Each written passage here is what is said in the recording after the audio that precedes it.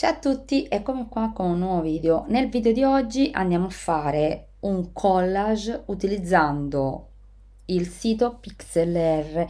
Vi ricordo che se volete uh, avere la, la versione a pagamento ma con uno sconto, attraverso il mio codice sconto potete approfittare di iscrivervi con un prezzo scontato. Nel video di oggi andiamo a vedere come fare un fotomontaggio di, sov di sovrapposizione tipo collage e quindi per questo tutorial andiamo a utilizzare il sito PixLR che è sia gratuito ma a pagamento.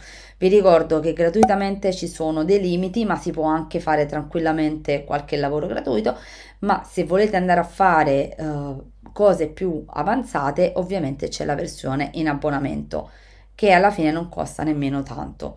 Andiamo ad aprire il sito, ecco qui il nostro sito. Ora andiamo a vedere, eh, andiamo a cliccare su uno dei due. Allora, qui abbiamo un progetto di grafica, quindi eh, adesso la schermata si è fatta in questo modo. Inizia un progetto di grafica oppure inizia un progetto editing. Per il momento noi andiamo a cliccare uno dei due e andiamo qua. Fatto questo, io adesso voglio andare, visto che stiamo lavorando nella X, andiamo a, in immagini. Voglio andarmi a cercare un'immagine che mi piace. Vedete qui nelle immagini ci sono degli stock che ci dà il sito.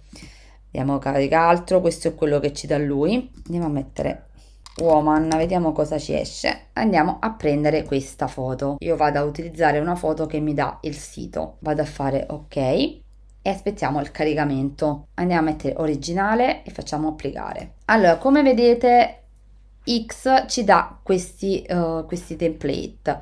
Se invece vogliamo andare in, nell'altra versione siamo un po' come Photoshop. Torniamo sull'home page e vado qua a cliccare e torniamo sulla foto ed ecco qua che questa qui ha una versione più semplice.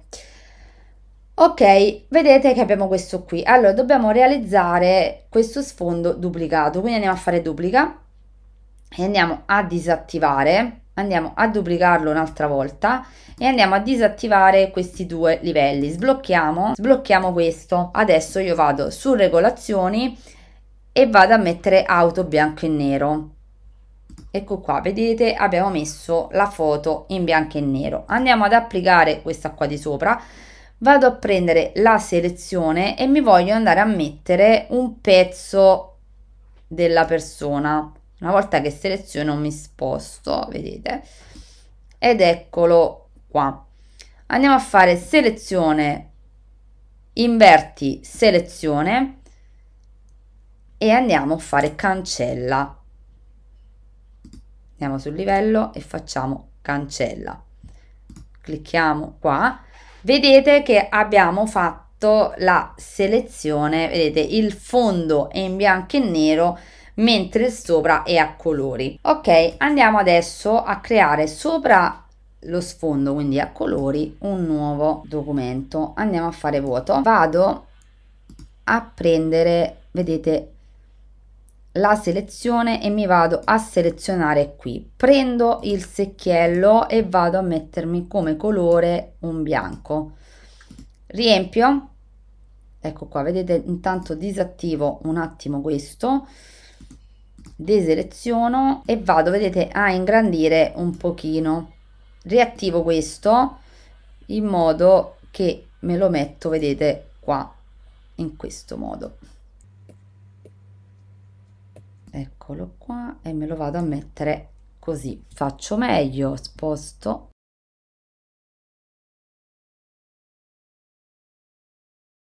Ecco qua vedete lo faccio in questo modo. E lo mettiamo così. Ok il livello che ho messo sopra vedete è a colori. Questo qui io lo tengo semplicemente sotto in modo che posso avere un testo che si vede. Vado qua e vado a fare fluidifica e mi vado metto la dimensione più larga e vado vedete a modificare un po questo. Semplicemente per dare un effetto un po movimentato. Ecco qua scriviamo prendiamo la T di testo aggiungiamo e andiamo a scrivere. Estate. Ingrandiamo mettiamo la dimensione più grande. Ecco qua. E andiamo a mettere la scritta sotto il carattere della cornice bianca. E la andiamo a inserire qua. Tornando qui possiamo andare a fare modifica. E qui scegliete il carattere. E qui andare a mettere anche un'interlinea. Oppure andare addirittura a mettere un'ombra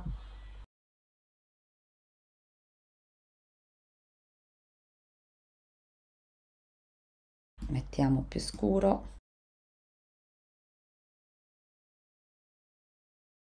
Ok gli diamo ok. Sfocatura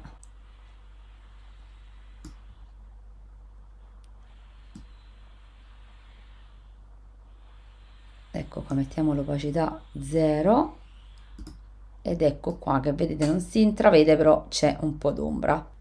Allora andiamo a duplicare questo. Duplichiamo e ce lo spostiamo qua.